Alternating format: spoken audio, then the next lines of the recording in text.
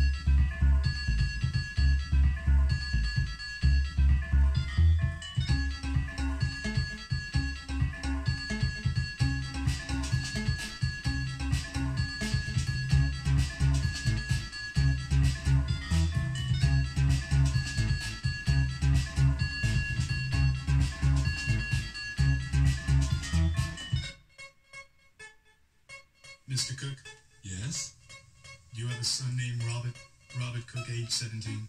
Yes. I'm sorry, Mr. Cook. You better come down to the station house. Your son is dead.